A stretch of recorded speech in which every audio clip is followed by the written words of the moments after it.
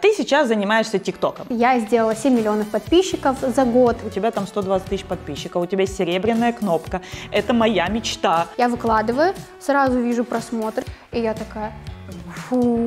Мечты, денежные потоки. Работает это либо не работает? Это действительно классный способ органического роста. Вот ты в детстве была красивая? Меня растили с мыслью, что я красивая. Во сколько ты начала лет краситься? Брови я хрен начала уже с 9 класса. Ты недавно сделала грудь. Операция шла 24 минуты. Чик-чик, засунули, склеили. Максим как отреагировал? Влада, давай купим какие-то секси-наряды.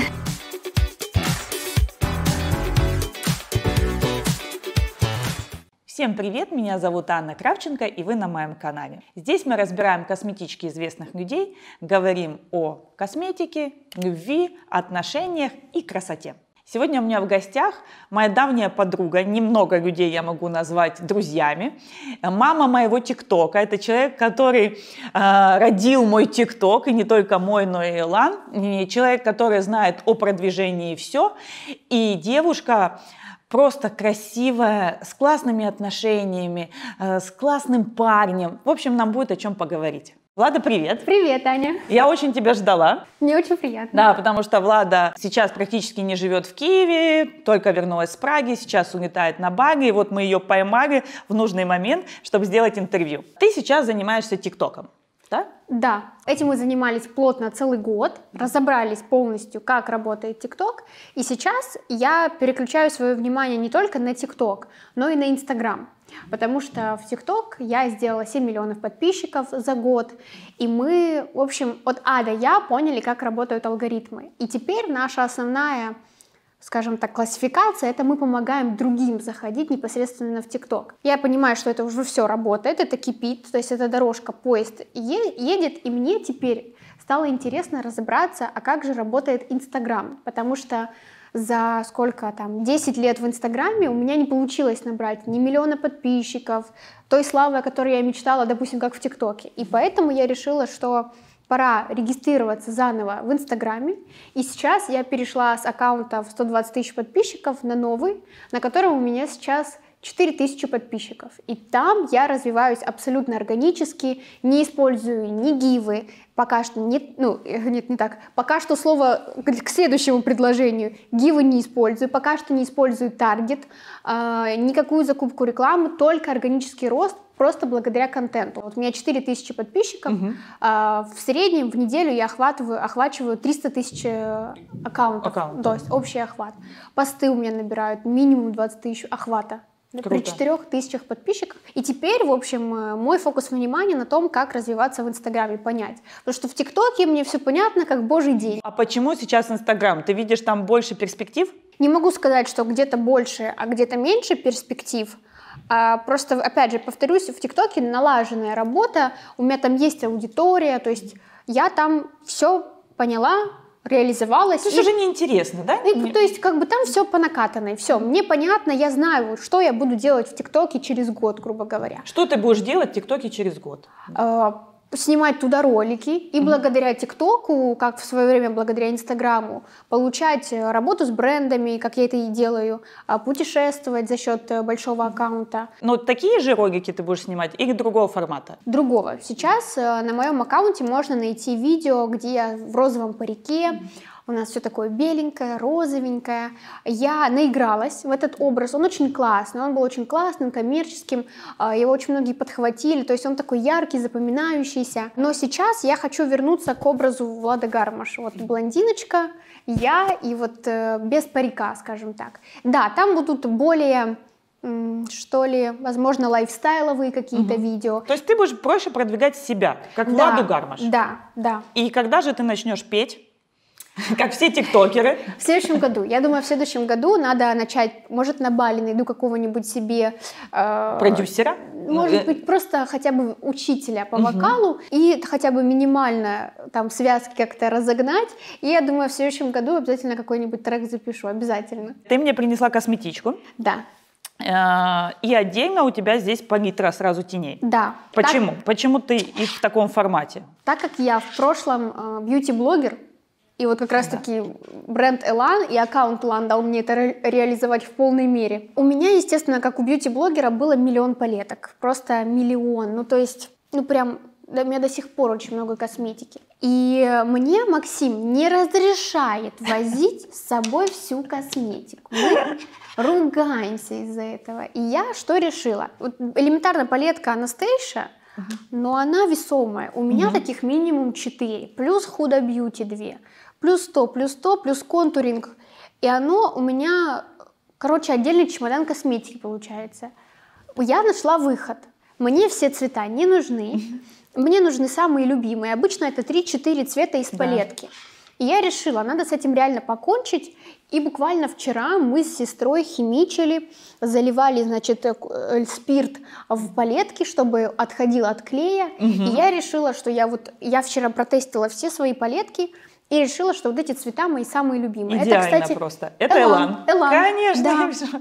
очень приятно. Мне То- очень просто удобно, так компактнее. Я просто смотрю на вот эту гору, из которой я повыбирала по несколько рефилов, и я сравниваю с этой палеткой, и я такая, о боже, Да. ну, кайф. Блондиночки, сфотографируйте себе, сделайте скрин цветов, которые вам идеально подходят. Здесь прям идеальная подборка на все случаи жизни. Из тональных кремов у тебя виши. Да, Маленький. люблю его, да, переливаю себе постоянно с полноценной в маленькую.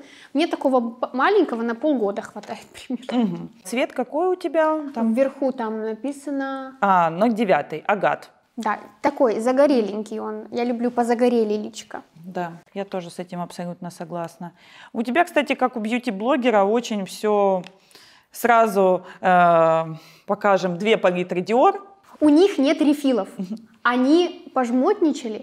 У них это все на пластмассовых, не на пластмассовых, а на таких резиновых штучках держится. То есть приклеить не да, на что. Да, да, да, я Да. поняла. Поэтому так бы я тоже сюда бы их засунула, но они, к сожалению, Просто эта палитра у нас в каждом видео. Мне кажется, Dior мне уже должен доплачивать за то, что я каждый раз в каждой программе показываю их э, контуринг. Они правда молодцы. Э, Ну, Dior Backstage это прям моя любимая ну, линейка, и говорят, что ее скоро закроют. Да, да, не будет ее. А ты мне скажи, вот ты в детстве была красивая, ты ощущала себя красивой? Да, меня растили с мыслью, что я красивая. Мама говорила, что я красивая. При том, что когда я смотрю на свои старые э, фотографии, я понимаю, что для себя я не очень красивая. Но в тот момент в жизни мне всегда казалось, что я такая симпатичная, да. То есть у тебя были мальчики, да, там школа, за тобой ухаживали. Нет, нет, нет, не ухаживали. У меня, меня в школе дергали. То есть я, же- мне мама так объясняла. Я у мамы спрашивала, что меня дергают. А меня доставали, да, да, то? Доставали девчонки и, пар- и парни меня А почему? доставали. Ш- Что, что именно? Вот я у мамы спрашивала, что я ж и не я была и не отличницей, и не двоечницей. То есть, э, грубо говоря, я не была отличницей, которая не дает списывать, чтобы ее не любили. Нет, это не тот сценарий. Двоечницей не была, чтобы меня там сильно как-то унижали. Нет, я была что-то между, и просто тихонечко вот я себе жила. И мама мне говорила, что мне просто э, девочки все завидуют, а мальчикам я всем нравлюсь, но они не могут себе в этом признаться. Мал- Молодец. И я с такой мыслью росла, что вот меня все не любят, потому что все мне завидуют.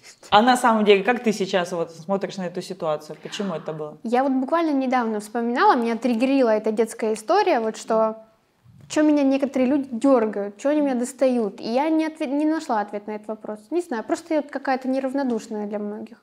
Как-то вот меня люди любят что-то дергать, не знаю. Во сколько ты начала лет краситься? Мама мне в седьмом классе разрешила накрасить ресницы, я была счастлива. То есть тебе с детства нравилось краситься? Да, брови я хрен начала уже с девятого класса. У меня прям, я брови, карандаш, все дела. То есть, да, жестко я прям красилась. Как ты пришла вот к тому, что ты стала бьюти-блогером? Что тебя вот сподвигло к этому? Потому что ты-то начала э, с блогинга бьюти еще до того, как ты даже, ну там, научилась краситься, ну мне кажется, да? То есть это оно пошло как-то извне. Да, И мне... ты этим дав- давно занималась. Я еще не знала э, таких людей, как блогеров, а ты уже этим занималась. Наверное, я уже так не помню.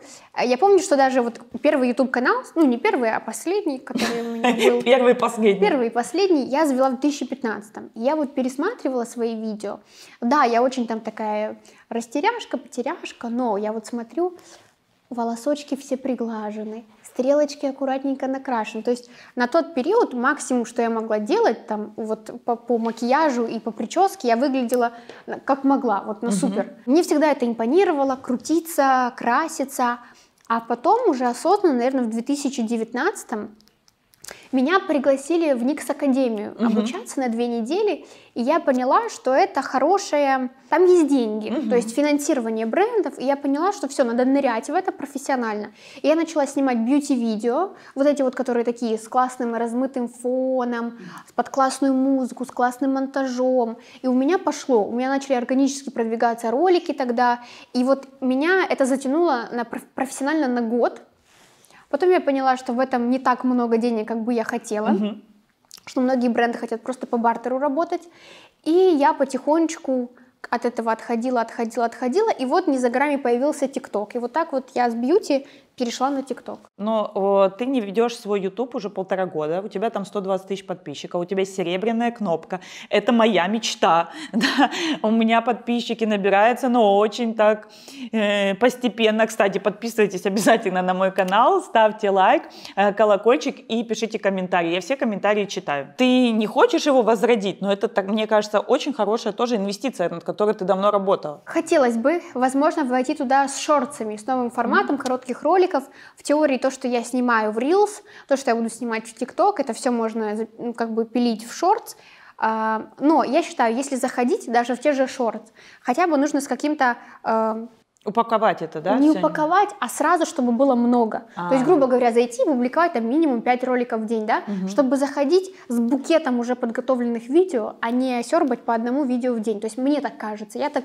Это моя, в принципе, стратегия была и в ТикТоке, и в Инстаграме. Это много контента сразу. И вот запастись побольше контента. Для этого мне нужно просто создавать контент в Reels, в ТикТок, и это все в шортс. Но у тебя сейчас вот каждый раз ты говоришь рилс, рилс, рилс, это сейчас самое а, основное, на что ты тратишь свое время, да? Именно да. на создание рилс. Да. Но у нас в Украине их не видно. Появятся ли они у нас, не появятся, и есть ли смысл их выкладывать, если их не видно в общей как бы ленте в плане своего аккаунта? Я вот как бы тоже украинка, но у меня рилсы есть. Я рассказываю, как их подключить. Это несложно. У меня они появились спокойно и на старом аккаунте моем, и на новом моем появились. И я рассказываю своим ученицам, как сделать так, чтобы у вас, даже если вы в Украине, появились эти рилсы, потому что это действительно классный способ органического роста. У меня при моих 4000 подписчиков а, рилсы набирают 250 тысяч просмотров.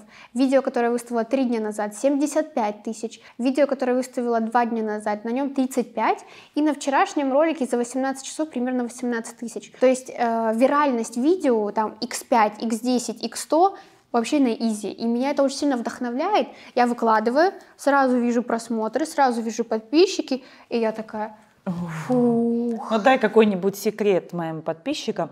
Вот э, что лучше всего снимать в Reels, сколько он должен там быть по секундам, и это все-таки э, делать самому, либо привлекать кого-то, на, например, на съемку Reels. Снимать точно самому. Я снимаю все ролики сама, абсолютно. То есть штатив, я и все. Самое главное. На телефон. Да, на телефон. Угу. Я не снимаю на камеру. Э, не усложняйте себе жизнь, не снимайте на камеру. Просто телефон, хорошее освещение, а видео 3, 5, 6, максимум 10 секунд, не длиннее. Чем короче, тем лучше ролик. Mm-hmm. То есть вот 5-7 секунд это средняя продолжительность моих роликов. Давать пользу. То есть даже если это просто какая-то картинка, но если на ней есть смысл, это то есть можно, например, надписи какие-то делать, как там э, спечь пирог, да, там то-то, то-то, то-то. Да, угу. и ингредиенты, ту-ту-ту-ту-ту, смешать, ту-ту-ту-ту-ту, получится. То есть э, вот что я говорю на своем обучении, пережеванная польза, она должно быть настолько очевидно и понятно, угу. что после этого видео пятисекундного я такая, Блин, круто, я поняла, до меня я, дошло, да? Я не зря свое время потратила, потому что мы, э, многие, мы тратим время на скроллинг, угу. и чтобы оправдать этот скроллинг, мы такие, блин, то есть я вот сохранила рецепт пирога, макияжа, тональных, а еще меня тут вдохновила фраза, мы тем самым оправдываем свое э, скроллинг ленты, и поэтому ага. вот это вот, э, то, что мы потребляем, пятисекундное, должно быть полезным. А нужно писать эм, э, описание, комментарии к рилсам? Да, да, есть классный формат роликов, где, допустим, ты говоришь, допустим, такая видео, 5 лучших тональных средств. Читай описание.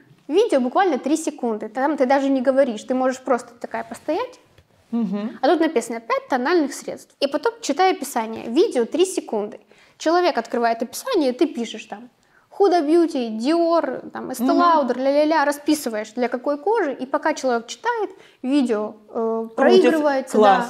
Он его сохраняет, отправляет подружке, у которой такая да. же проблема. Все. Круто, Нюта, запиши, нам такое надо. Польза не только для подписчиков, но и для меня. И, кстати, каждый раз, когда встречаюсь с Ладой, такая, ага, нужно еще это, это, это, это. Ты сейчас больше уделяешь а. Э, своим обучению в плане, а, не знаю, правильно это будет назвать, либо нет, духовного развития, мечты, денежные потоки. А, работает это, либо не работает? работает. И почему ты к этому пришла? Работает. Я, меня растили э, с таким убеждением, что будешь много работать, будешь много зарабатывать.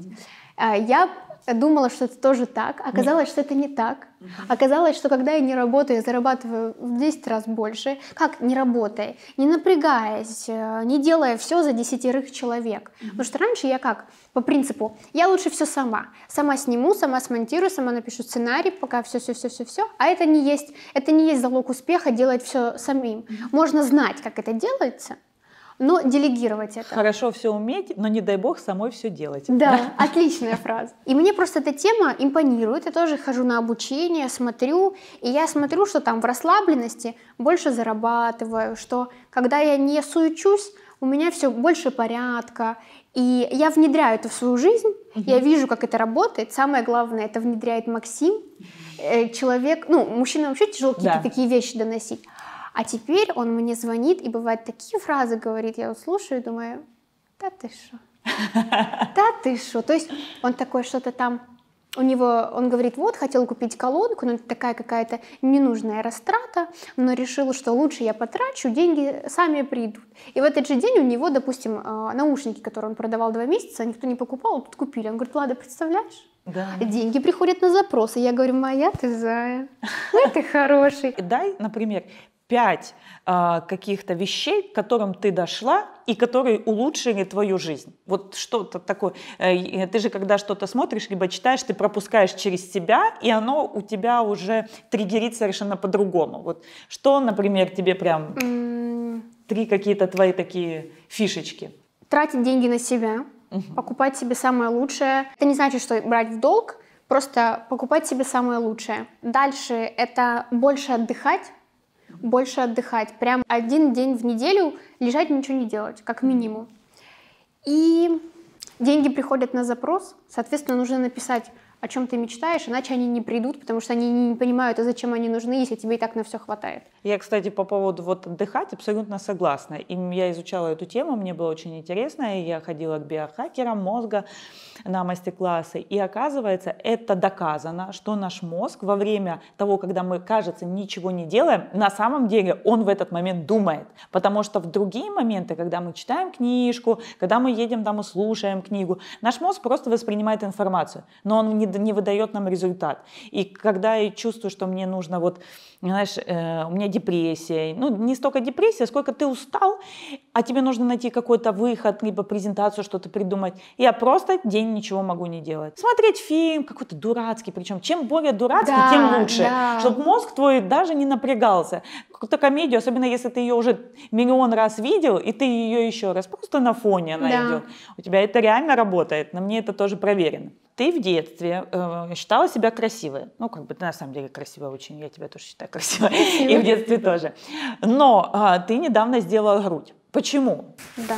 Это об о уверенности, об неуверенности или о давних желаниях. И я знаю, что э, одна грудь куплена тобой, одна, одна грудь Максимом. То есть да. Максим тоже в это вложил. Да, Он вот... не согласен на меньшее. Да, да, да, да, да, да.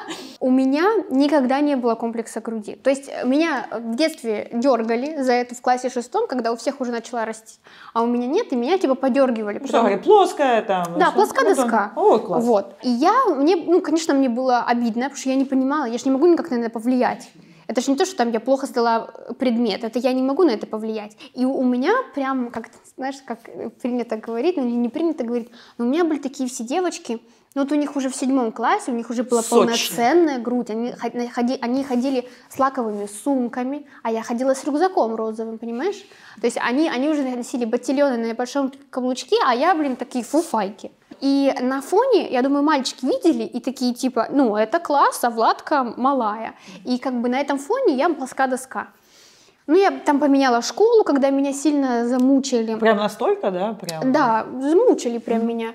Поменяла школу, а потом, уже когда все закончилось, там, учеба, когда у меня начались какие-то серьезные отношения, как-то моим молодым людям это было, ну, не дико важно. То есть mm. никто меня абьюза не было как такового, типа, типа, тебе бы надо бы. Как-то все это было настолько нормально. То есть я жила, все у меня нормально. Но я просто такая сидела, мы уже обсуждали, куда мы летим на зимовку. И мы такие, мы летим на Бали. И я такая, блин, было бы классно новую грудь и под нее новые купальники. И вот эта вот мысль, ассоциация, новая грудь, новые купальники Бали, я такая, все, есть задачи, надо выполнить. И я к этому так легко отнеслась. А Максим как отреагировал? Ты говоришь, Максим, хочу сделать грудь. Мы обсуждали это, наверное, полгода назад первый раз. Я говорю, а что если сделать? Он говорит, давай. А. Он, он, он меня в любых начинаниях поддерживает. Он, он всегда любит, когда я ярко накрашусь. Если я как-то, он наоборот такой, Влада, давай купим какие-то секси-наряды. То есть э, он э, такой, просто я слышу от подружек, мне не разрешают там ярко краситься, мне не разрешают носить короткое, мне не разрешают то. У меня Максим наоборот такой, давай, давай, давай, давай. И он очень легко к этому отнесся. То есть э, я сразу ему спросила, я говорю, ты участвуешь в этом финансово? Он сказал, да, и все. И дальше он уже позвонил, меня записал к врачу. То есть он позвонил? Да, я попросила его. Я, я боюсь, я боюсь звонить, я боюсь. Я представляю, как, когда звонит мужчина, знаешь, да, да, да, можете да, мою жену, там, девушку, да, да, да. ой, какая ошибка по Фрейду, Максим, мою девушку можете записать на грудь. Мне кажется, там все такие, ой, вот это молодой человек какой классный. Да, и, в общем, все, и так оно закрутилось, и там все так сложилось. И дата операции мне подходила, и по скорости реабилитации, и доктор, и все-все-все-все-все-все-все. И, то есть, я это не делала с мыслью, о боже, я не могу жить с маленькой грудью, или я себя не принимаю. Я просто такая подумала, блин, просто с ними будет еще лучше. А было страшно вот перед операцией, там что не понравится, например, еще что-то был внутренний страх? А, первый раз, когда меня размотали, я смотрю и такая думаю, блин, сделала маленький. Надо было больше. Потому что они настолько сильно были прижаты, потому что это сейчас я в белье компрессионном, а до этого я была просто обмотана. Бинтом, да, как? И оно же так сильно, и мне снимают, а у меня как будто моя грудь. Она просто настолько сильно прижата, угу. плюс она отекшая, и я, у меня эта мысль, я лежу и такая, я сделала надо было больше. Но сейчас уже нормально. Сейчас меня уже попустила, она как будто бы так распрямилась, что ли. Потому что реально как-то ее попустила, плюс у меня там ткани начинают потихонечку растягиваться в нужном, э, как сказать, угу, как-то, местах, как-то да. физиологически, в общем. И я такая думаю, не, все нормально, с нужным размером. А по поводу страха, э, я давала себе отчет, что я иду в безопасное место, я доверяю пространству, но перед наркозом вот тут слезки текли. Но у меня был классный анестезиолог. Она говорит, что тебе налить? Я говорю, апероль. Она говорит, сейчас будет. Она говорит, куда, куда летим? Я говорю, на Мальдивы. Она такая, все, сейчас полетим, пристегивайся. И я очень плавно вошла в наркоз, плавно вышла, очень такая разговорчивая, рассказывала им историю одну и ту же по кругу. А, во время наркоза, да? Да, да, да, уже когда выходила. Операция шла 24 минуты. А, то есть чик-чик, засунули, склеили и все, Чик-чик-чик, да? и на следующий день отправили. Вот да. это уровень. Знаешь, что ну, мне сейчас очень классно. Раньше, еще пять лет назад, спросить у девушки, ты что сделала там грудь или ты сделала губы? Да нет, это все мое, да, я да. никогда не делала. А сейчас настолько свободно, да, и говорят не потому что, либо раньше оправдывали себя. Да, я сделала грудь, потому что у меня там обвисло из-за беременности. Да, да, потому что я родила уже двоих, да. я этого достойна, я вот, я живу с этим комплексом 24 года, я наконец-то себе разрешила. Да. Нет, у меня такого не было. Слава богу, мы живем в такое время, когда сказать, что ты сделала грудь, для меня это вообще... Это нормальная вещь. Вообще мне не постыдно, ни капли, мне даже об этом мысли никакой нет. Пять лет назад я снимала видео на YouTube о том, что я никогда в жизни себе ничего не сделаю. Я говорила ни губы, ни нос, ни грудь, ничего не сделаю. А у меня было очень много лишних убеждений. То есть я была такая немножко забитая в своих каких-то убеждениях. А сейчас я настолько, на таком легке губы делала, всем советую. Грудь делала, всем советую. С тобой так интересно, что тут у тебя еще? Шанель. Шанель, да.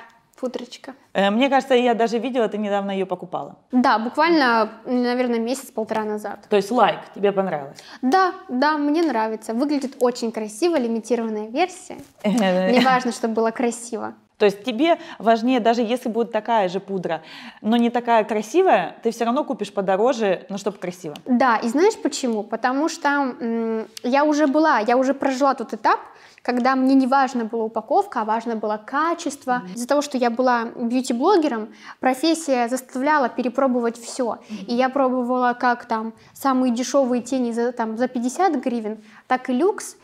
И то есть профессия позволила все узнать. И теперь, когда я уже не бьюти-блогер, а для себя, для себя я выбираю красивую упаковочку, чтобы, чтобы вот, да, вот чтобы мне вот приятненько было. Так, это э, брови. Брови клей для бровей. Да, это я вот только купила, решила попробовать. Ух ты, я такой даже не видела. Чтобы вот фиксировать. Интересно. Кисточка Элан. Очень да, приятно. Да. Она есть, кстати, тоже все, кто ко мне приходит, приходят с этой кистью. Да. Это такой бестселлер, кисточка номер 7. Идеально для скуловой да, коррекции. Я, я и пудрюсь ей полностью, и делаю контуринг. Скуловую да. коррекцию. У меня тоже, кстати, есть эта помада, и этот цвет 208. Это э, Сен Лоран. Да, да, да. А, мне нравится очень эта помада. Ты часто красишь красные губы? Нет, не часто, но хотелось бы чаще. Просто нужно как будто себя не то чтобы заставить, а просто сказать, Влада, сделай. Максиму нравится? Красный? Да, да. То есть он давай сегодня не стирай на вечер, да?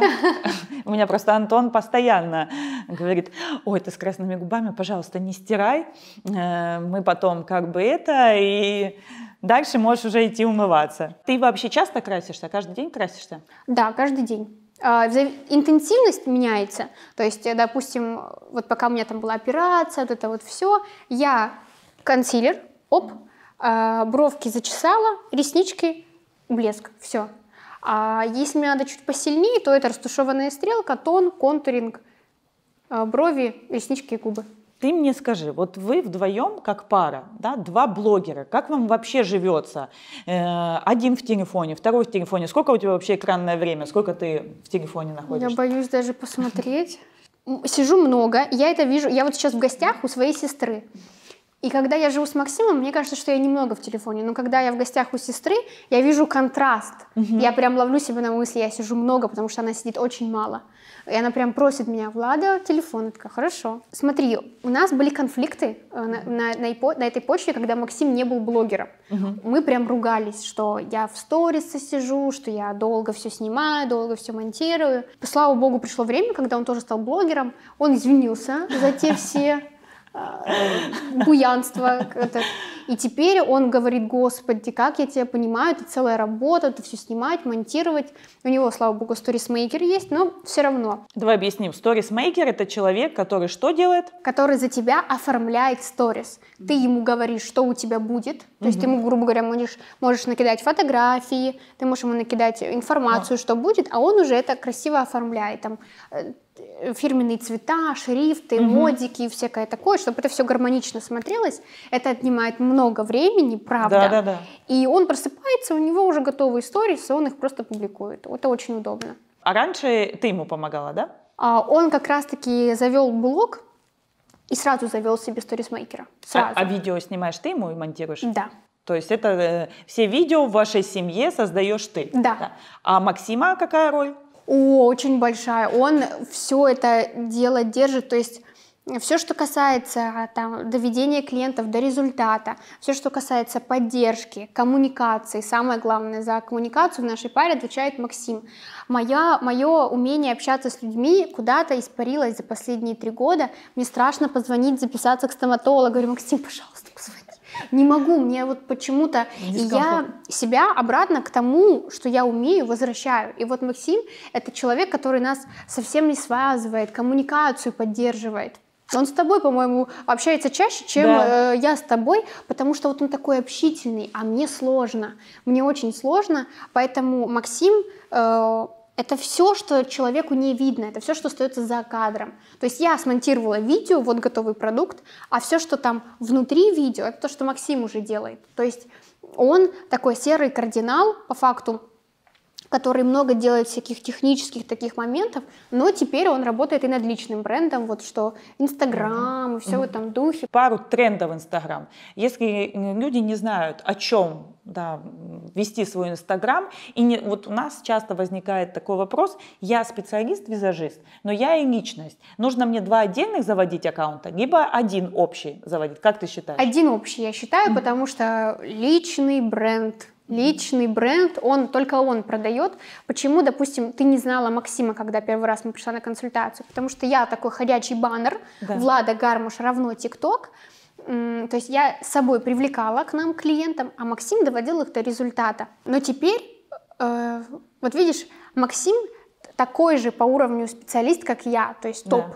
Но из-за того, что у него не такой раскачанный личный бренд, ему, а, ну, его меньше кто знает. Но это не значит, что он плохой специалист. Поэтому он сейчас раскачивает свой личный бренд. И не только как TikTok-эксперта, а как мужчину, его интересы, его женщина, как он путешествует, как он живет, как он зарабатывает, как он зарабатывает благодаря ТикТоку. И вот это вот все вокруг личного бренда. Поэтому бьюти-специалистам я бы не делила. Вот Гуар и пластическую операцию делает, и косметику там делает, и обучает. Все в То есть одном. где-то Личный три- бренд. 30% о себе, 30% там о работе и какие-то еще там э, 30% свои интересы, там о проектах каких-то. Да, то, что я вот говорю, мета-сообщение, что это такое? Это вот значит, у меня есть кисточка, Илан, и у тебя. То есть у тебя есть корова, и у меня корова, значит, нам есть о чем поговорить. Мгм. То есть и, и чем больше вот таких мета-сообщений, чем больше у нас с тобой коров, или, допустим, у тебя есть баночка виши, и у меня, мы это уже можем обсудить.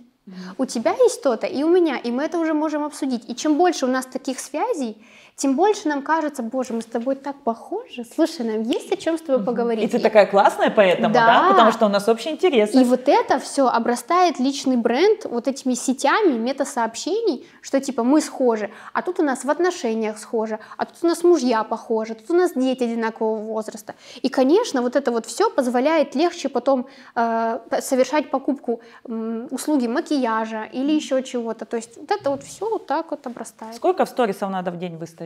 Наверное, 20-25 в Это- среднем. Тут главное не количество, тут главное смысл, который мы вложили сегодня в сторис. Что мы сегодня показали. То есть сторитейл должен, должен да, быть. storytell. Начинаем развивать одну какую-то тему. А что лучше заходит? Разговор, э, говорящая голова, либо написанные там какие-то фразы? Э, микс, надо микс, надо, к, к сожалению, танцы с бубном. А, То есть это одна головой, одна текстом, другая это видео просто с текстом, другая это картинка с текстом, четвертая это опять голова. То есть, чтобы им было интересно смотреть, когда у меня была операция, я понимала, что эта тема в принципе интересная, и я себе позволяла записывать четыре говорящих головы, потому что я понимаю, что процесс реабилитации всем интересен. Да, да, да. И они досмотрят, И даже без подписей, даже без каких-то там э, спецэффектов, они досмотрят, потому что им интересно. Но если я понимаю, что мне нужно вовлекать, то да, это одна сторис, одна см- один смысл, одна сторис, один смысл. То есть чем меньше текста, текст компактный, четкий, то есть кратко доносим мысли, чтобы человек такой, типа, как, знаешь, как класс, интересная книжка с картинками. Вот. Чтобы и текст было нормально, и картинок. Потому что когда я вижу много текста, я даже не начну Да, читать. да, да, да, да. А вот должно быть и картинок много, и текста. Насколько у тебя повысилась активность э, в, в сторис, когда ты делала грудь? А, Повысилась, наверное, где-то на тысячу. На тысячу. И сейчас она стабильно. Я думала, э, пройдет грудь и как-то уйдет статистика. Но нет, она поднялась, потом чуть опустилась, и теперь она стабильно как на грудь. То есть у меня сейчас 4000 подписчиков и 3000 охват в сторис. Круто, вообще. И мой вопрос, последний. А, Счастье в красоте? Философский вопрос. А, Внутри, о внутренней красоте. Потому что если ты считаешь себя красивой, то вот это вот э, твоя внутренняя вера в то, что ты красивая, это и будет транслироваться миру. Вот так вот. во внутренней красоте, вот, вот это вот. Потому что можно быть и без груди, и без красивых бровей, но чувствовать и подавать себя так, что ты звезда, и ты будешь звездой. А можно и с этим всем чувствовать себя плохо и чувствовать себя некрасивой. Поэтому вот в красоте внутренней, и вере в то, что ты красивая. Класс. Спасибо большое, что пришла ко мне. Э, у меня есть к тебе подарок. Как раз э, новый наш броу-топ для бровей, О. Про, проэкспериментируешь. И э, то, что я еще хочу тебе подарить, как раз вы с Максимом сегодня, э, свеча Hot Flirt. Мгм. Это подарок Максиму, Мгм. если что. Спасибо, Спасибо. большое. Это тебе. Ой, спасибо большое. Спасибо вам большое, что досмотрели видео до конца. Ставьте лайк, колокольчик и подписывайтесь. До скорой встречи в четверг.